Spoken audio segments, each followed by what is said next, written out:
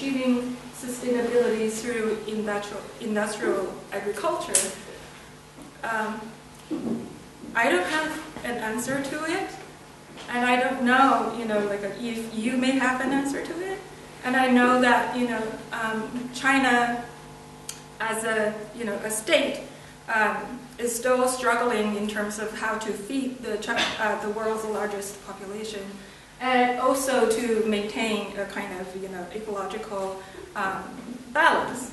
So what I'm going to do today is basically just to, to present some of the things that I just learned literally in the past few months, and then to think together uh, with you all. Um, so before I start, I'd like to do a quick survey. Um, when you have a choice, for example, when you do your own grocery shopping, how many of you buy organic food only? Okay, so like about a dozen. Uh huh. How many of you, you know, like uh, buy organic food? Like seventy-five percent. Uh, okay, so that's how many of you kind of buy organic food like at around fifty percent of the time. Some. How many of you would like to consume organic food every meal. That's all, right? Um, yes, so, you know, just it's very clear that we all prefer to eat organic food. We understand it's healthy, it's good for the environment, and yet, you know, still, even in this audience, very few people are purchasing organic food every day, right? 100%. Um, and there's, of course, you know, multiple reasons to that. I'm not getting into the specific reasons because uh, my focus today is, you know, what China can do um, and what's pressing here in this case. Um, what I'm trying to do, I will focus on these three um, kind of issues. First of all, is actually food security. Um, how to feed China. This is a kind of, you know, perennial um, question. And also how to um, maintain this, you know, uh, ecological kind of sustainability. Um, and I want to clarify at the kind of uh, concept level what does food security mean exactly in the Chinese context. And then I'll talk a, a little bit about the state agribusiness that um, which my research is focused on, and its role in um, mid, um, kind of achieving China's food security, and this new approach um, by the Chinese state, and also practiced in a way by the uh, state agribusiness. Um, the state calls it the green development of agriculture. So what does it really mean?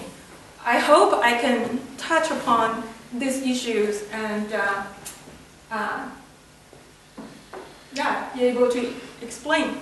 Um, okay, so this was a book published back in 1995, and the title it was published by the president of the World Watch uh, Institute. The title is quite alarming. Who will feed China? Right? Uh, call for a small planet. And um, I think it just kind of very clearly um, expresses this global concern about um, ecological sustainability and also feeding the population, the largest one. And in it, well, of course, there's a lot of some flaws, you know, in his data um, and analysis, but still, um, it remains a pressing question in terms of, uh, like he made a comment later, like feeding China is always a global issue. Well, which is true, right? So, um, in it, he predicted that China will only be able to um, to be self-sufficient in terms of providing food for its own people at a you know like 45% or maybe even a little lower. However, in the past at least two decades, China has maintained a kind of you know 95% um, of uh, self-sufficiency with um, especially staple grains. So um, this is uh, oh sorry. So before I get into this uh, um, definition, um, just in contrast with um, Lester Brown's um, estimate, the FAO in, I think it's 2011, um, recognized China's achievements. Um, here I'm quoting uh, China's tremendous achievements in successfully feeding 21% of the world's population with only 9% of the arable land and 6% of the fresh water. So this is the, um, you know, statistically speaking, uh, indeed, you know, with this limited resources uh, to produce enough food to feed the Chinese population is an achievement. But how did China achieve it, right? So, uh,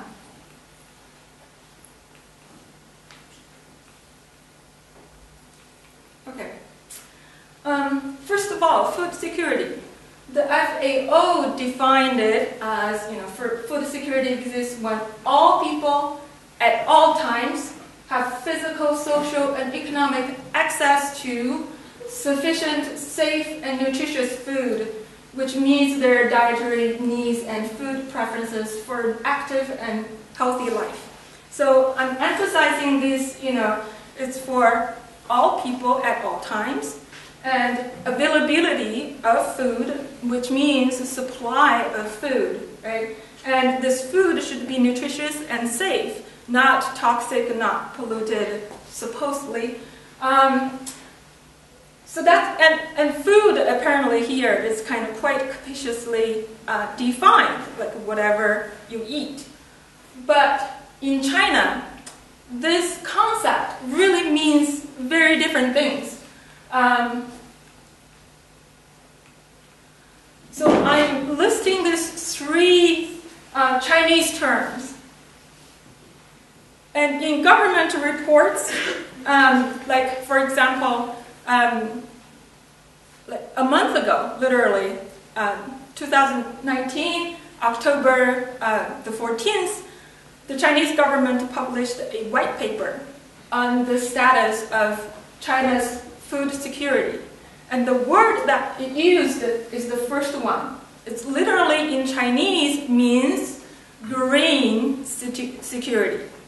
And um, the, I think a better Chinese translation that could be relatively equivalent to the FAO definition would be um, the second one, uh, 食物安全.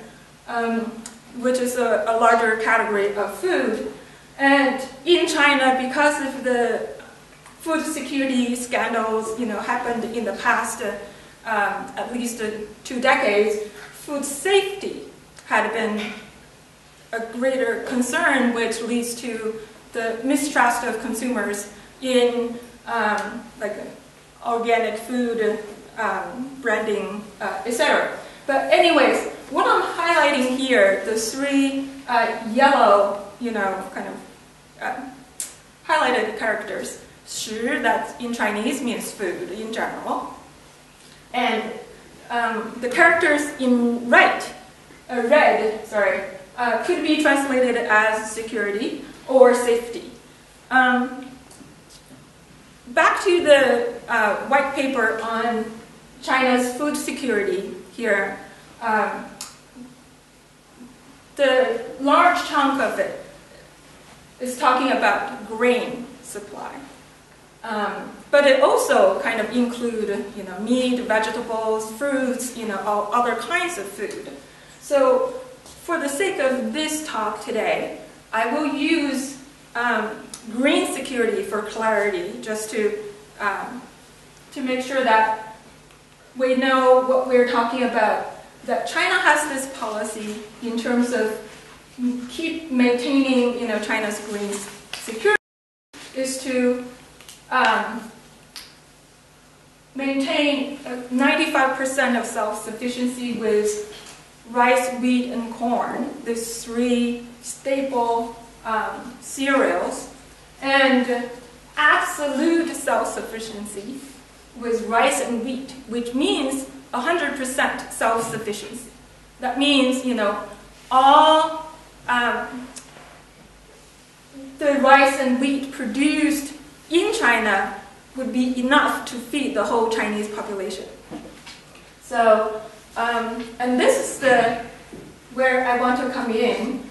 So, you know, this emphasis on having enough food to feed the population is really kind of um, was a promise that was made by the communist government, you know, back in the 19 uh, in 1949 when the communists took over.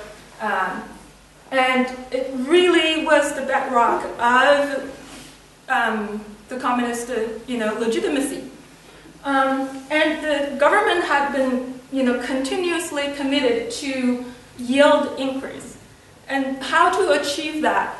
Um, agricultural modernization had been a consistent goal since the 1950s up until now. Even, you know, in the recent publication of uh, agricultural policies, modernization still is the key word.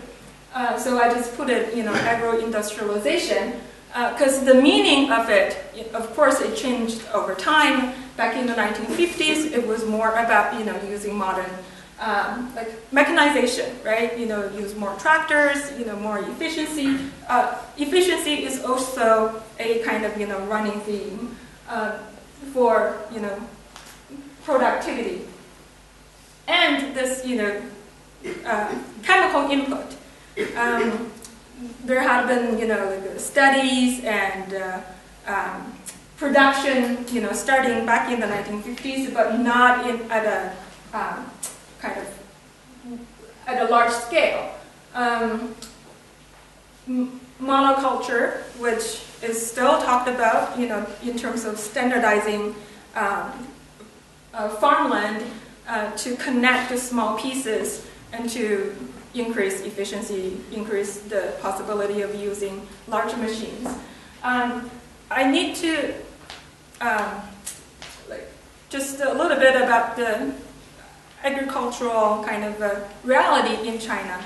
Um, I think there are about over 200 million small household farmers in China. Uh, so in most part of China, especially central and east uh, China, those, you know, plots were, um, on average, was about two-thirds of a, a, hectare. So it's a very small plot, um, which has been viewed as an obstacle to um, agro-industrialization. And so even in the newest policy, the um, solution to that is still to, you know, connect, um, pool the resources and connect those plots. Anyways, so, so just, you know, very uh, little about this agro-industrialization.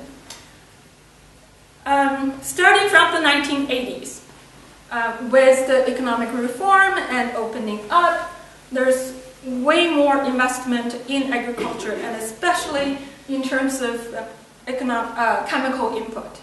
So the grain yield increased dramatically since the 1980s comparing to the first three, uh, right, about 30 years, right, uh, under the uh, communist regime. Um, so I'm just giving you a table that uh, if you take a look oops, at,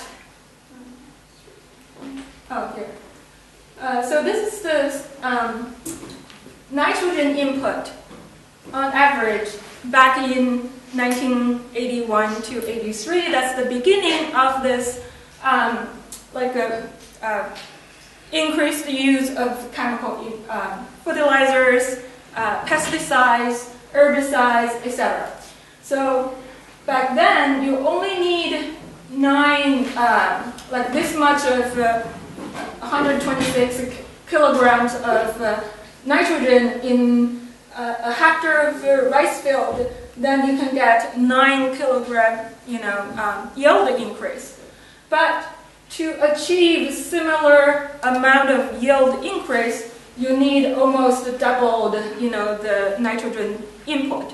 So as I guess we, I don't need to, you know, get further into the details like to this audience, we all know the impact, environmental impact of this excessive use of um, chemical um, materials. So um, backtrack a little bit people are using more and more chemical uh, stuff in the field, uh, which depleted, you know, soil uh, nutrients, and you know, um, so it, it, it's kind of a a cycle that you need to put in more to um, achieve uh, a little bit more, and the, the, the, the benefit kind of decreases over time. Um, and of course, you know, like uh, other ecological impacts, for example, uh, pollution of water um, and soil, um, soil uh, degradation, um, and in terms of this kind of large industrial farming, um, the reduction in biodiversity, not only in crop diversity, but also plant diversity, but also, you know, animal breed diversity, etc.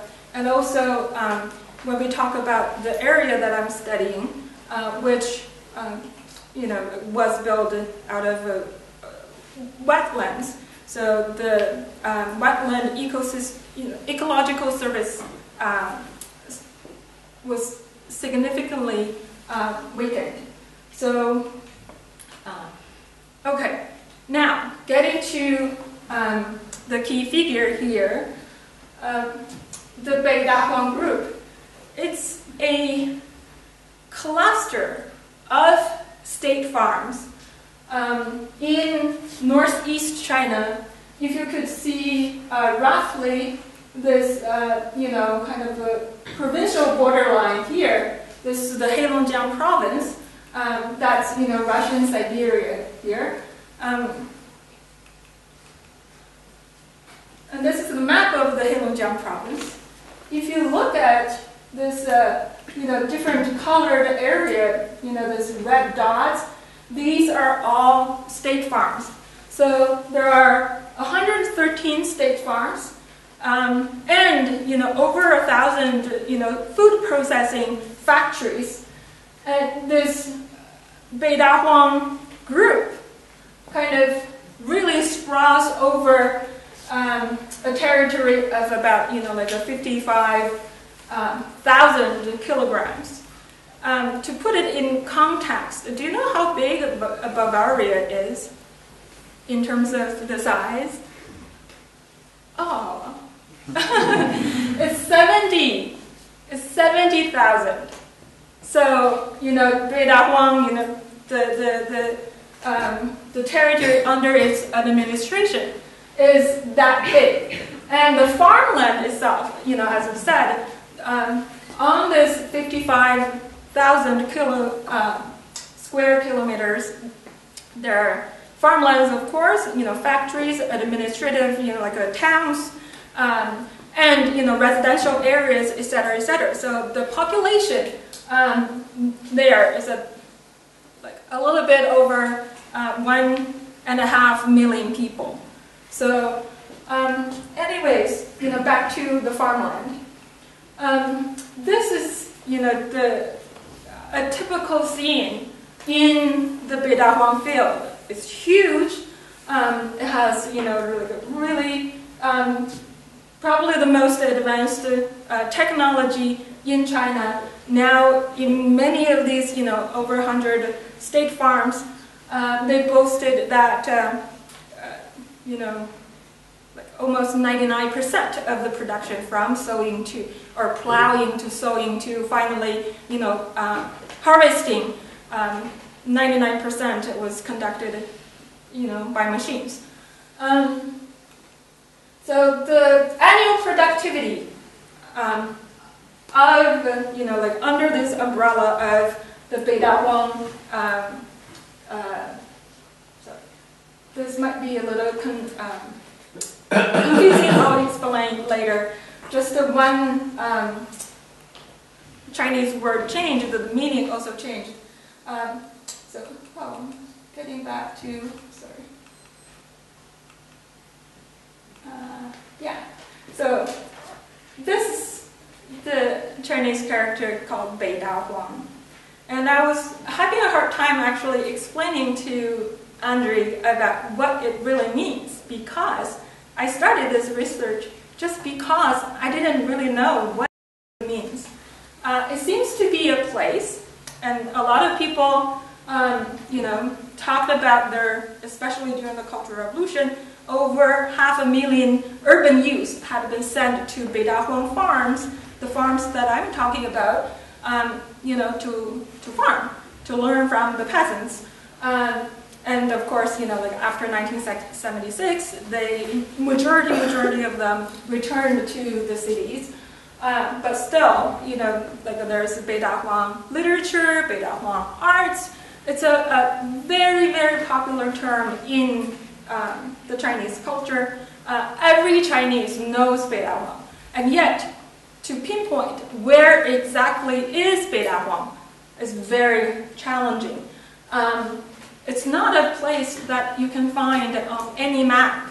It's a cultural reference to a place in the far north, uh, in the bleak area, historically speaking, not um, densely populated, not um, civilized, you know, in contrast to the civilized, you know, uh, core in um, central, sorry, central East China. And this place had been a um, des um, destination for political exiles, for banishment, you know, as a punishment that, you know, people in history back hundreds of years ago, actually up until the 1950s and early 60s, um, you know, political uh, dissidents, like the rightists, had been also, you know, moved to this area. So this is a photo I took from a wetland reserve, um, and it probably, you know, in most of the places, um, 70 years ago, 60 years ago, may look like this. Um, that's also why it's called, sorry, the Great Northern Wilderness. Um, sorry. This is the, um, the photo, a photo I took back in 2015 in the summer. The first time ever for me uh, to go to a state farm, and actually any farm. I grew up in the city, uh, didn't really knew anything about this. So, um, monoculture, of course, uh, highly standardized. You don't see any kind of weed in it. It's kind of really well taken care of, et etc., etc. Um, best, of, almost the best. of, um, yeah, I think it's the model in China for agriculture uh, modernization. Um, just a little bit, this is you know the history part. I'm a historian. This is you know my lead. So you know most Chinese you know learned about this uh, term Beidahuang from this generation. The urban youth you know being sent to the countryside. Uh, this is an illustration of how you know back in the um, the late 60s, how you know people arrived there in West, the cold, typical image of the wilderness back then. Um, but you know, even though this group of people were the most familiar kind of image of Beidahuang people, um, there were, you know, there were only a small chunk of these um, people who had been cultivating land in this area.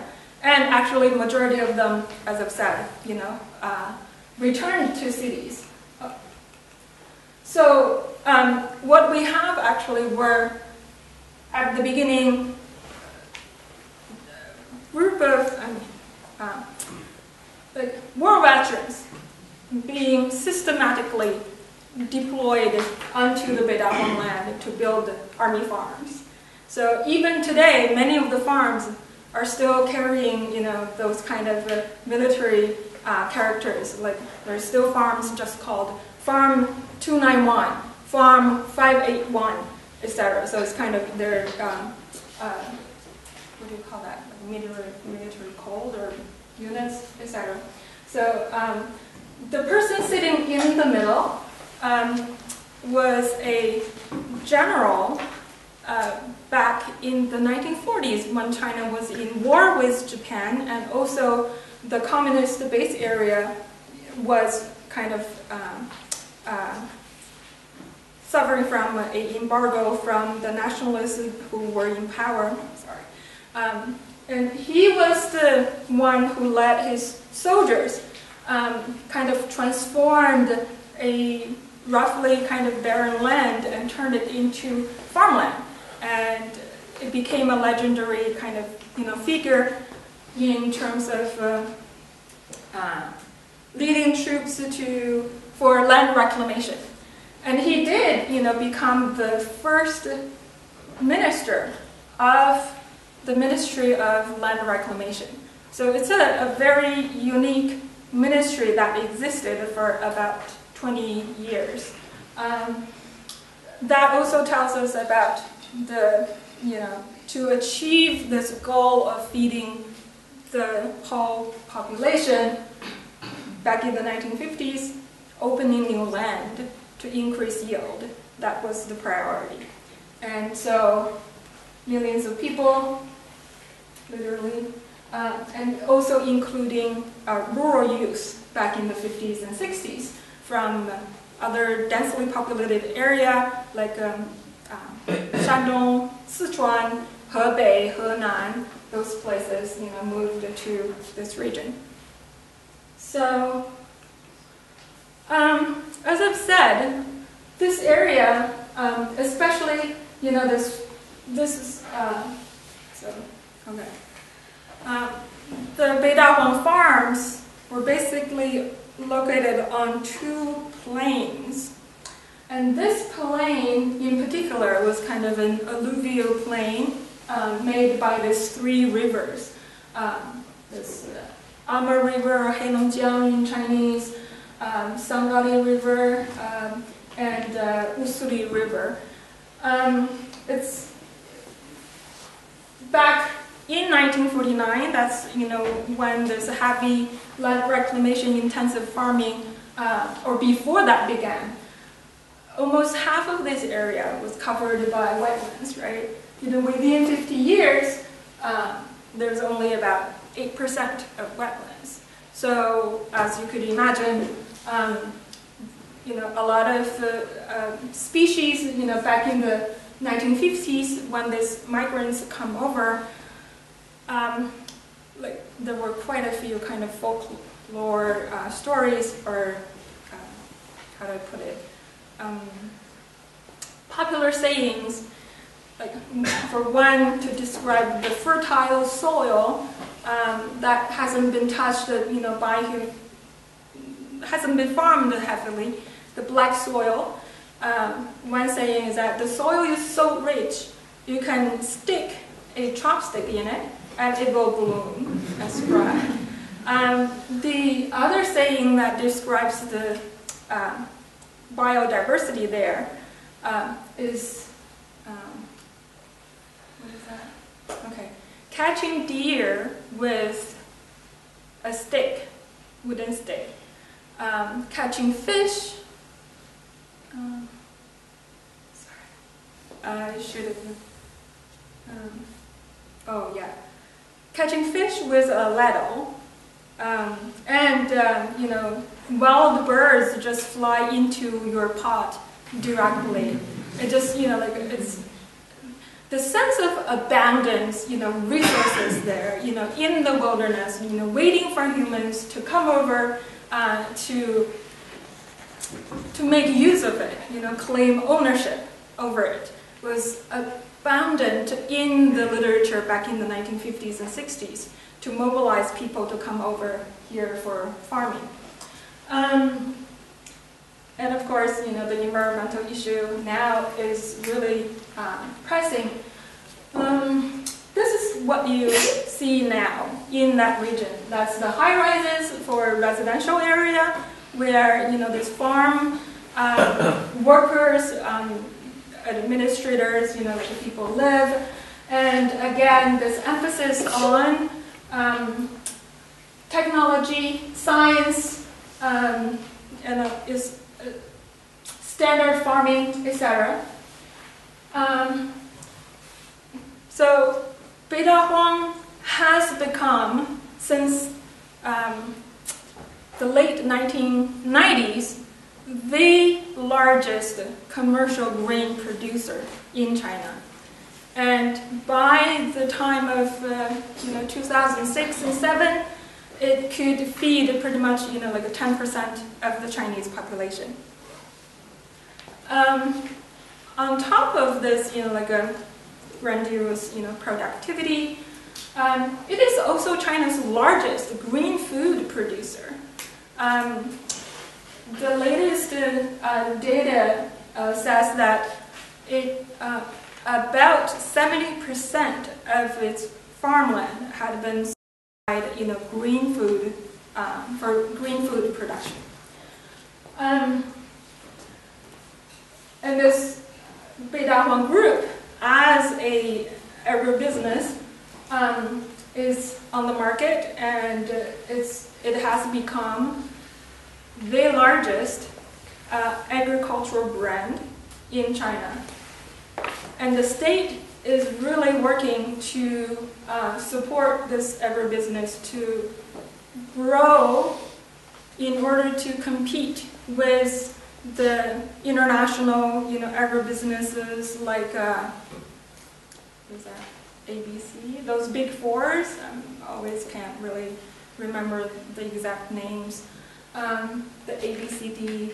Uh, um, so anyways, um, there's a lot of concerns about this um, food market in China.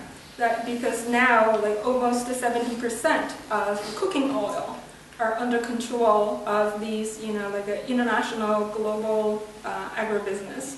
So China has lost, a, you know, like a um, uh, control of price over um, market price over um, cooking oil. So um, given the particular you know um, diet like in Chinese culture, uh, rice and wheat are particularly crucial. Um, actually, in Chinese, fan literally means rice or uh, wheat, you know, um, cooked material. So that's why this is you know, for 100% self-sufficiency. Um, I'm just you know jumping to this green development. Uh, policies started back in, I think the first time that uh, this term was coined uh, and published by the State Council was back in 2016. Um, and again, because of the pressure to feed China, um, yield increase remains the priority for agricultural development. And, but again, you know, as we all are aware of, the ecological, you know, impact of this previous, you know, um, heavy um, farming or uh, chemical input, etc. So to recover this, you know, um, ecological environment is also a priority. Yeah. Um, so there's has been like the Chinese government has come up with this new term uh, starting from 2007. Um, this new term was about uh, was uh, building ecological civilization, and uh, it was you know almost equally important as agricultural development. Um, and later, the government also proposed, uh, started to talk about ecological security, and this is why in the title of my talk I use that word, just um, eco-security.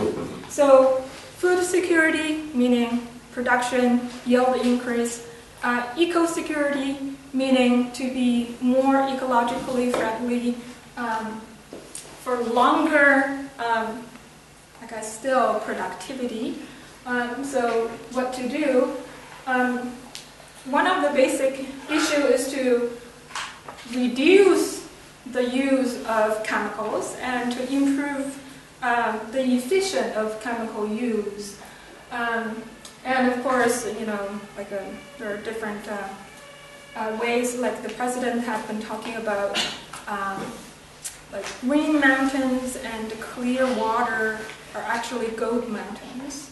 So in a sense, to capitalize on this um, ecologically uh, vulnerable, um, you know, environment to uh, stop farming in those areas, but to transform this area like pretty much for tourist development.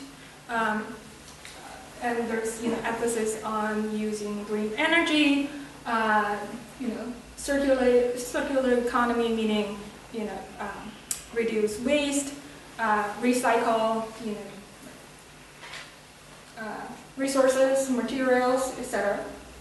So the role of Beidahuang in this is still as a producer.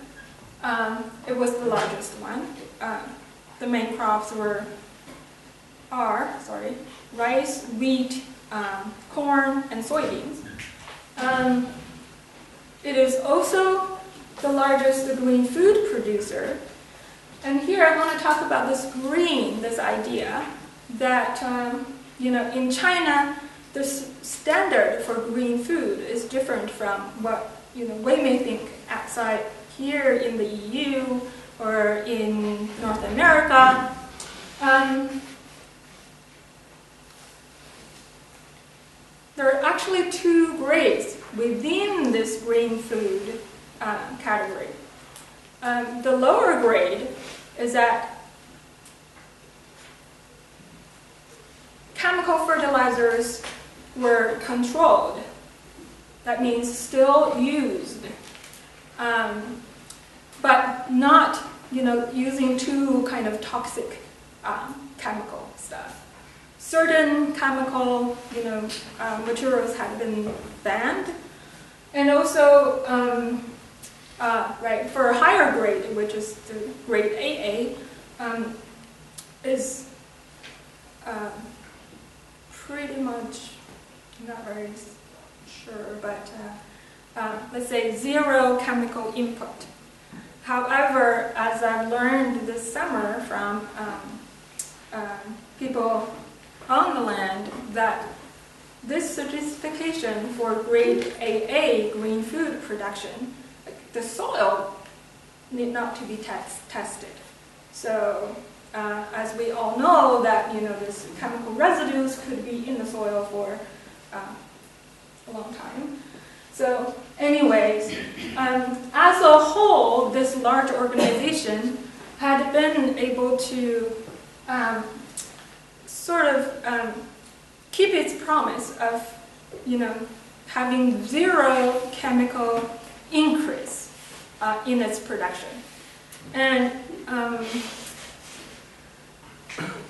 yeah, as I've said in the beginning, you know, with the survey, we all understand the benefits that agriculture, eco, agroecology sorry, uh, could bring, right? You know, to produce organically. Um, but that doesn't seem to be uh, possible in the near future in the Chinese system to be upscaled. There are a lot of small farms, you know, especially in suburbs, in around big cities, that there have been like community-supported agriculture. Uh, people, you know, produce organically, and the food, you know, uh, was uh, um, transported in a short kind of food chain. Um, so the consumers um, have better trust in the quality of the food, etc., etc. Um, what I'm trying to, you know, uh, introduce here is that this agroecological concept of from field to table, which means to shorten the, um, to, to um, tighten the connection between um, consumers and nature and their food, etc., etc., has been appropriated by this state agribusiness, and they are using the concept to create this green, intelligent kitchen.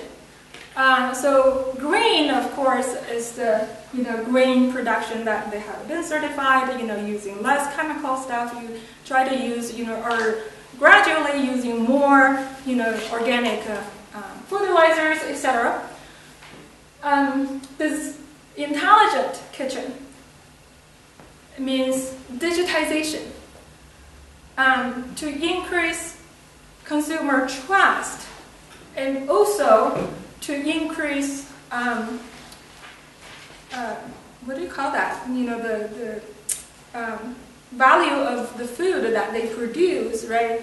Um, they are actually expanding their control over you know this food chain. So from you know seeding to the final you know food processing and packaging, the whole process was supposed to be, you know, controlled by the Beta group. And so their food, you know, from the very first step would be coded. So, you know, at each step that, you know, once the consumer get this food, you know, to scan the barcode with their cell phones, they will know, like, you know, where this food is exactly from, from what part of the field, you know, from which farm, and then, you know, where did the food, you know, the, the say, uh, rice go, you know, throughout this whole process system. So that's their interpretation of this digitized um, world. That's how this Beidahuang food is supposed to get to your kitchen table. So I'm reminded um, my time is up, so I'm, I welcome questions, comments. Yes, so, uh,